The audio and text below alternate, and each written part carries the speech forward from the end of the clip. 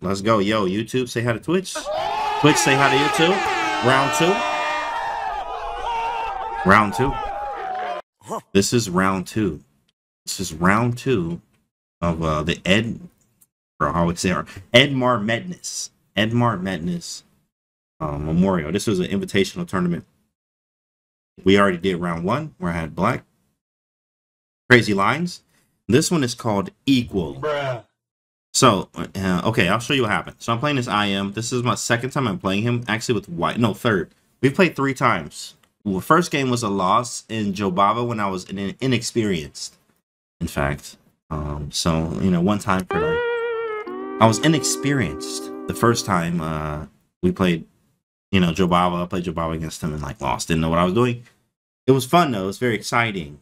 Back to Alan there, right? But the second time we I drew with black and then this is the third time we've played. So he's an international master, of strong. So here's the game. So here, because I played Jobava already with white, I, I, I wanted to play something else. So I played e4. Now here here we go. Bruh. In the last 18 games, I've only lost. Sorry, I have not lost with the white pieces. So that's good to understand. I did not lose at all with white in the last 18 games that I played in two tournaments back to back and this was the only E4 game. The only the rest was D4, but this was the only E4 game that I played because I played Joe Jobava against him before. Only reason why I didn't play Joe Jobava is because I played it already because he was going to get Joe Jobava. He was, he was, but I was like, okay, uh, play E4. All right, so we went E4, C5, and then I went C3 I was actually expecting French from him. I saw some Sicilians that he played, but I was actually expecting French, which he played later on in the tournament. But he went C5. I went C3. C3 Sicil for the kill. You know, I got a course on that, I think. Still. Let me see if that's still in the chat. There we go. C3 Sicilian. Yep. It's okay. So I go C3. He goes knight of 6. We go E5. This is all theory. And by the way, accuracy for this game, let me actually put in here just so you know I'm not I'm not uh not fooling fooling with you here. Here it is. 97-1. Look at that boy. 97. 97-1 and 96-6. 97% accuracy. So it was a very, very nice game.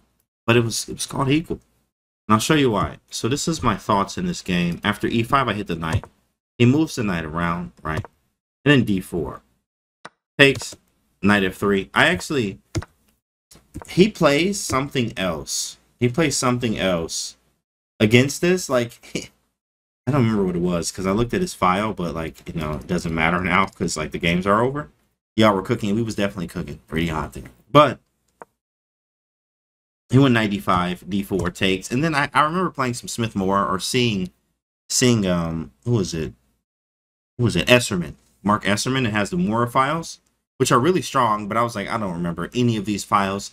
So I'm not going to play something that I don't remember. Like, I, uh, I'm just not going to do that. So, but I did spend a little bit of time trying to figure out where I want to go, but not the Morra territory, you know, because he is also good as well. Johnny, thanks for the follow.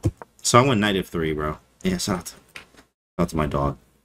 Kamsky plays a mat. Queen takes d4. Yeah, queen takes d4 actually is really cool this is a let me flip the board here. This is a line that is underrated. It is underrated.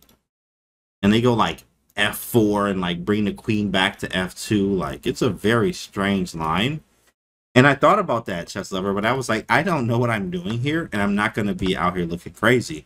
So after c takes d4, I play knight f3. Just play knight f3. Very easy. Very easy. So after knight f3, he goes d6, right? The theory is it here is heavy. Bishop c4. Yeah, yeah, there's some heavy theory here, correct. With bishop c4, back to b3, you let him take, and then knight takes, then d6, and then let's see, e6. Here takes, like, you move the queen, I think, to e2 in some lines. And after knight f3, correct. I do remember this, so I remember I remember this. And actually, after d6, I go bishop c4. So I actually went for this. Because I'm like, I'll figure it out type of thing because I like these type of positions. I like open open positions and tactics. But he takes on e5. So I'm currently down a pawn because like think about this, right? Like he takes one pawn, I develop. You know, he pushes, I develop.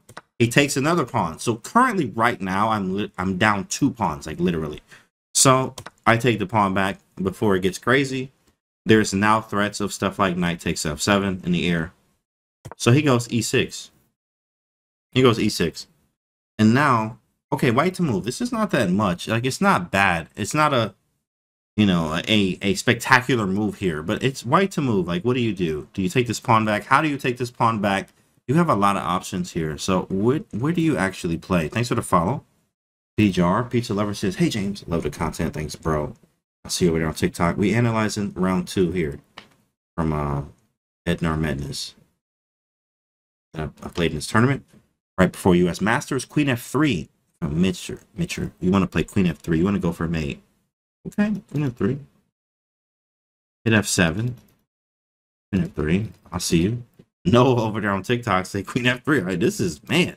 Y'all just aggressive. Chat. Hey man, hold on. Bruh. Chad out here just really aggressive. Queen F3. All right, all right. Just trying to make like two separate channels, both saying the same thing, interconnected. I like the energy you guys are on. Queen A A4 check. I think that's a nice check. I didn't like knight D7. Queen takes d4. Kevin over there. Castles from Chess Riddle. Queen takes d4. Nice. Nice. So what I did play here, actually, Chess Riddle is correct. I actually castled. I like this idea because now there's tricks involved if he goes d takes c3. If he goes d takes c3, right, I was actually going to get into this type of stuff of knight takes c3. If knight takes c3, we can do queen takes d8, king takes. And I thought about this is what I calculated, chat. I mean, I'm telling you COE, right? CO, COE here, right? So I do knight takes f7, king e7 was the move I thought. King e8 I think was worse, but king e7 um, to defend this pawn because there's some lines where with the king on being on e8, when I take, I can get out after like a rookie one and put pressure on having the tempo of bishop takes e6 being available to me. So king e7 actually will be a little bit more accurate.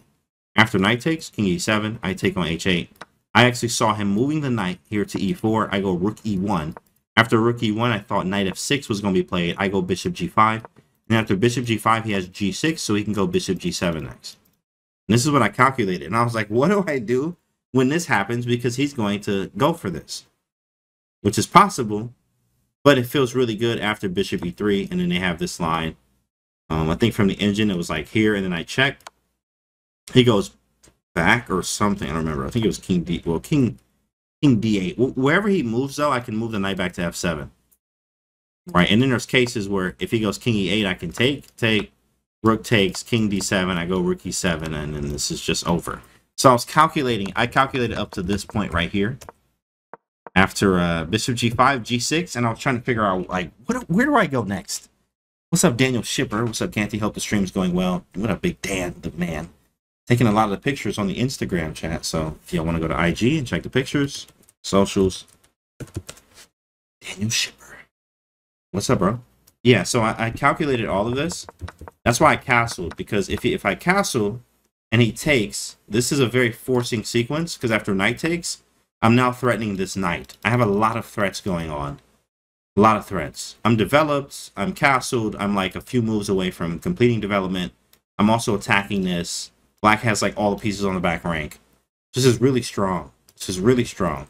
So, after castles, you know, I get up and I walk around, you know, like when you hit the clock and you like stand up and just drink your water and like walk around and just big dog flexing, you know, feeling good about the move you played. And then he goes, and then he goes, Bishop E7, like like, come on, bro. Dang. Can you do something? Like, you know, he's very strong. So he didn't, he just developed and was like, I'm just going to castle, which is correct. It's right. Like, just develop your pieces. So I took back because I kind of have to now. He castles and I need to develop. So I go knight c3. He takes, takes, and then knight d7. Right. Now with the knight d7 option, he wants to trade pieces. I have a damaged structure, so he wants to like, you know, trade pieces, maybe even trade queens. But it is white to move, chat. So where do you actually go now? What is the sequence of moves you play now? Chess Riddle says F4.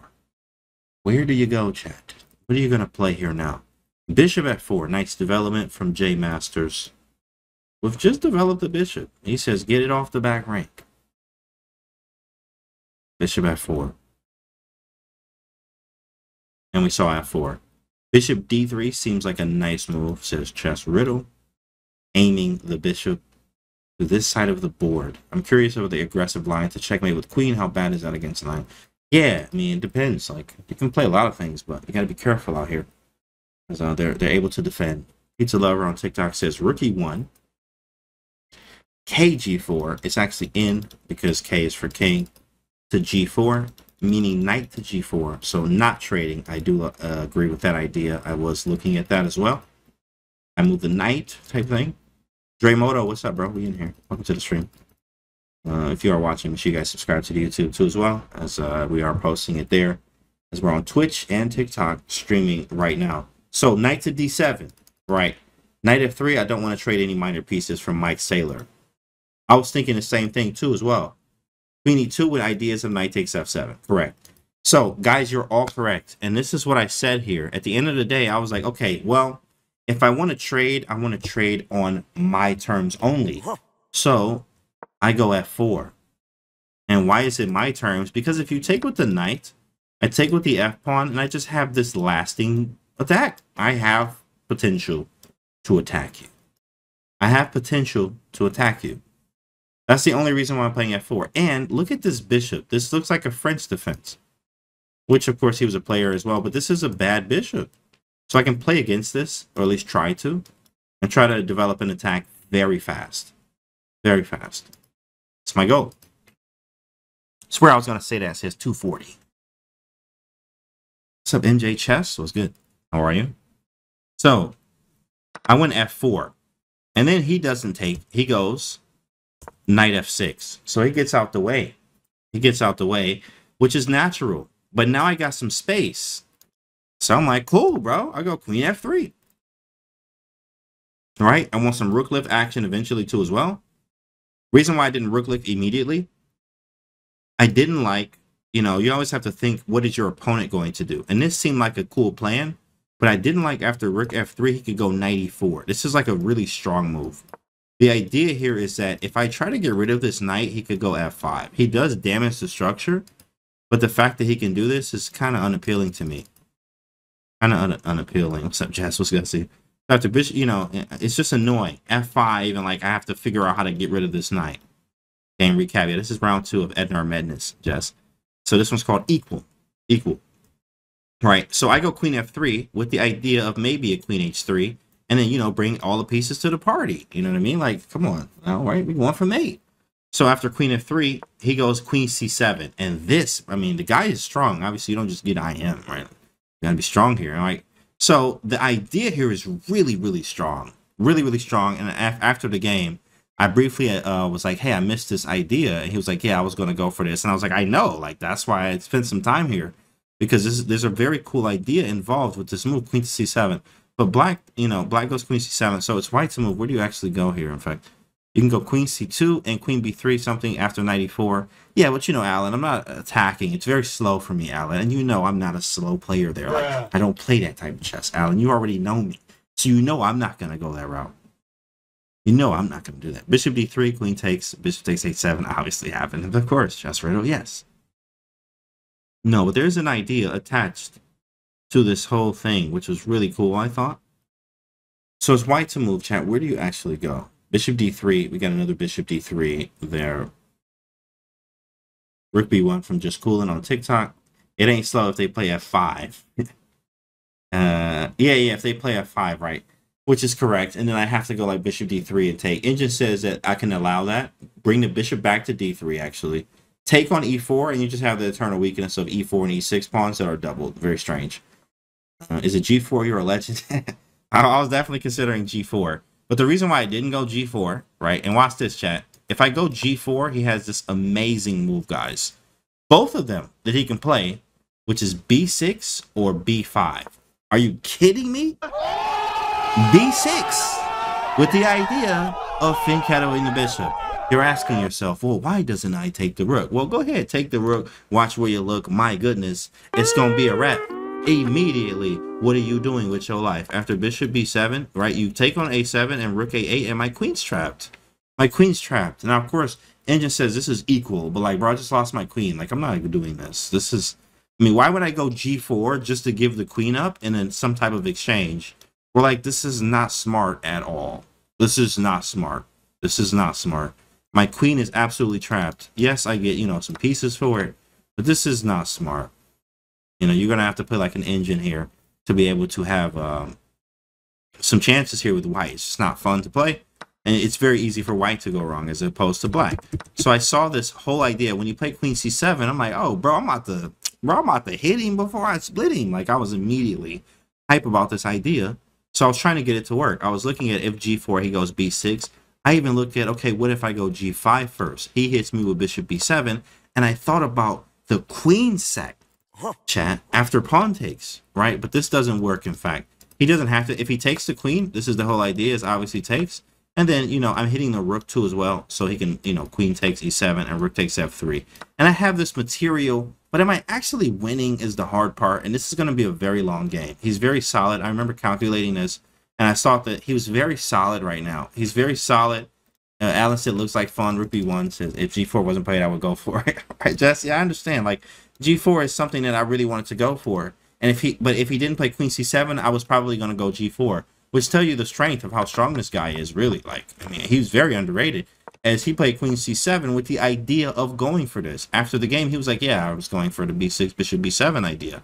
with with giving up the queen, seeing that it's trapped, you know, in that whole line is ridiculous. I thought this was very strong by him.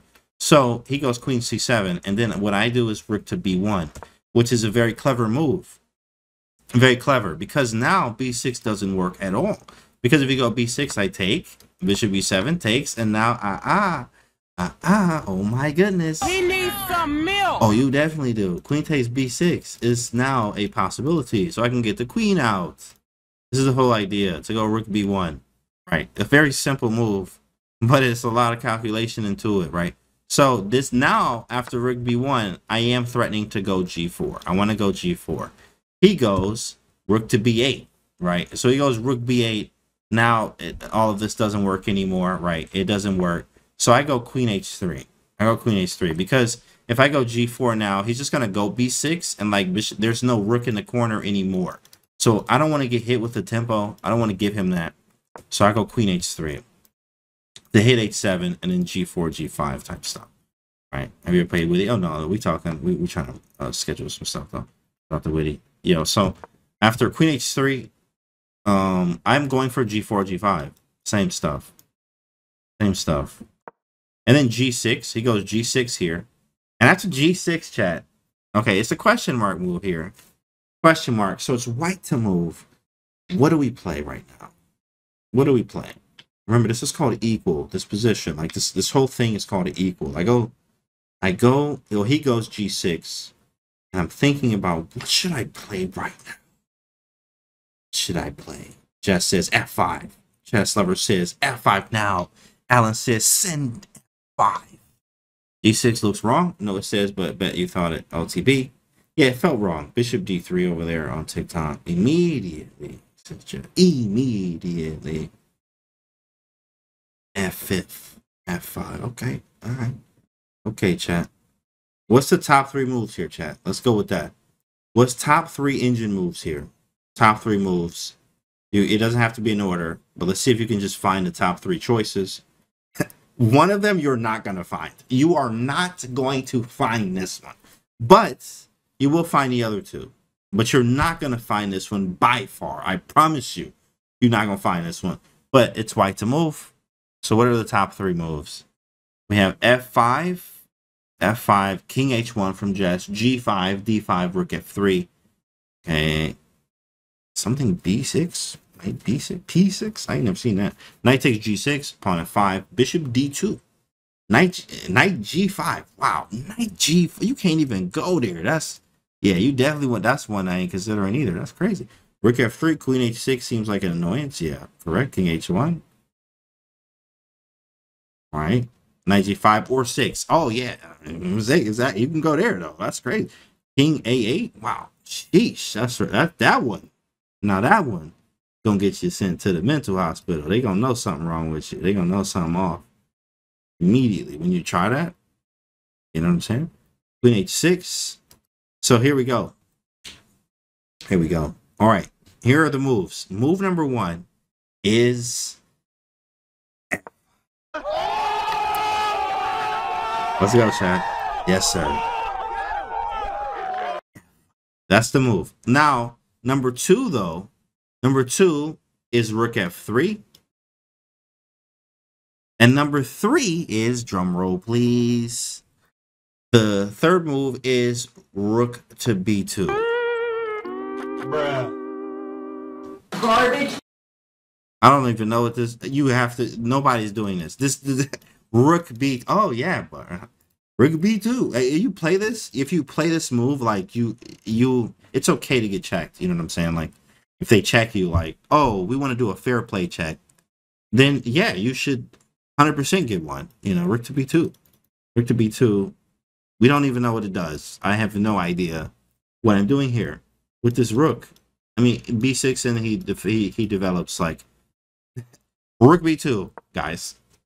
Cool. But I did go with f5. I went with f5 in the game. Inaccuracy, in fact. Uh, engine says. In fact, they wanted actually, um, what did they want? In fact, actually see. They actually wanted here rook f3 with some ideas of like this, but I wanted to like have this like f3 isn't that easy. It also he has a b5 coming. So I didn't want to give him time to play any of these moves. So I put an f5 in a practical sense of like I don't want to give you time. Also, think about this.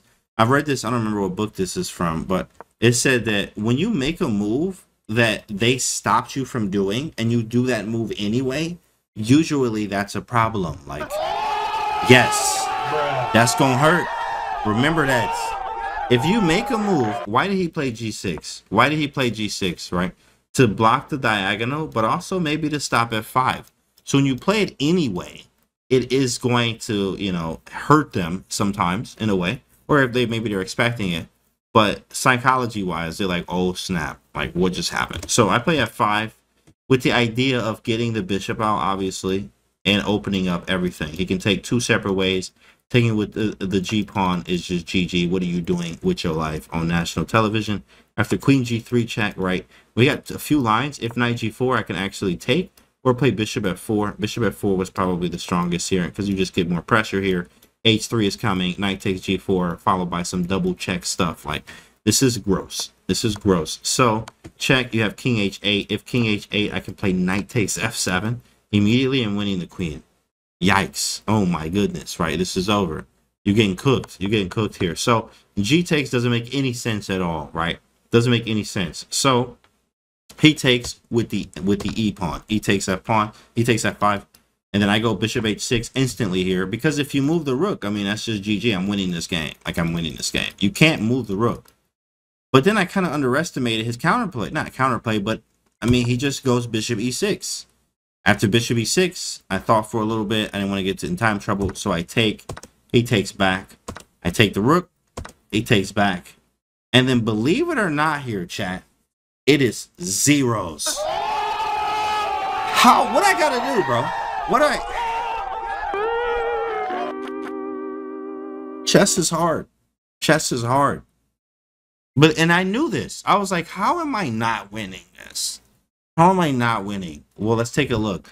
If this knight gets to e4, look at how rock solid the knight would be if it gets here. I'm going to have to sacrifice the exchange back as well. This is weak. Yes, there's pressure here, but there's b6. I have a knight, but okay, it's hitting what exactly? He's very, actually very solid here. A knight can also go to d5, and these are sort of hanging pawns, which aren't the strongest as well here. So this isn't easy to play. You can also have chances where if you drop this pawn, you may actually be worse as white here, especially because this one will be weak. You have an anchor. The bishop's really strong. I was like, this is insane. This is insane, right? I had a 97% accuracy in this game, but it was zeros when I got to this point, being up in exchange. So I'll play a few more moves. I actually go rookie one. with the idea of I will sacrifice. Hopefully, for whatever reason, he just lost his absolute mind here and plays 94, where I'm going to sack and not even think twice about it. Deal, thanks for the prime. Appreciate it. You can sub free with Twitch Prime. Thanks for the prime, bro. And then check, right? So I'm, I'm going to play this out all day. Because, like, you know, I'm getting some, some, some material back. Feels better. I'm more active. Right. And then what he does is bishop d6. And I was like, oh, here we go. So now this is really strong because there's ideas connected with maybe knight g4 and some type of queen sack, queen, a queen, uh, sorry, king side attack of his own. Right. Having this type of pressure with my king having to step over. My rook, yes, is nice here, but it's not threatening anything. Can't move the knight really, yeah. Knight f3 runs into stuff like queen uh, c3. Knight can still go into e4 like weirdly enough, you almost feel like black has some type of initiative because of the accuracy involved by white here. Actually, so after bishop d6, um, I went knight f3 and offered a draw here because I'm like, yo, this is this is not what I expected from being up in exchange, and in fact, it's all zeros. And here he accepted the draw, but after what you mean, knight takes g6 right now? Oh no, this is that's losing chess. It looks good. It looks good though. Rook takes e6. I thought the same thing, but then king g7.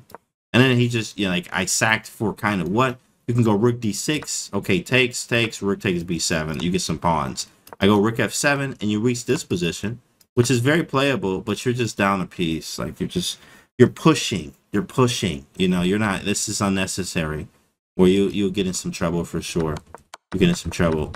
c4, the problem with c4 is I can lose um, some material in some ways. Maybe bishop takes, uh, which I thought he would play, and then take. So I, hit the knight, but the knight moves. He goes maybe knight g4. Look at this anchor. I got to move the queen just to kick the knight. Where do I move the queen effectively? And this is hanging. This is hanging. I got to be careful not to lose this or lose another pawn where I could be actually worse, even being down up in exchange, which is strange, bro. Very strange. It's a very strange situation. Where this was uh, all zeros here was getting a little time trouble as well, but he was well, we was both getting time trouble, so he's like, yeah, I'm good. Um, should it? Yeah, yeah. F five. I think F five. The more the story for this for me was I didn't have to play F five. I rushed it a little bit. I rushed it a little bit, but F five is like, I mean, it's such a good move because like it's practical. He made a move trying to stop me from playing it, and I get to play it anyway. So it felt really good. The bishop's getting out, but I should have played Rook F three. Or I should have found I should have found Rook B2, chat. Like that's what I should have played. Like I should have played Rook B2. Should have played Rook B2 and like don't know what to do next, but you know, Rook F3 is probably a better move. Just don't know where to go. Rook G3, there's 94 stuff. There may be some sacking possibilities. What does Rook B2 even do exactly? I don't know. I have no idea. But this was a draw here. This is good to start you know, I had two draws uh, in the first two rounds, both higher rated. So I'm like, perfect.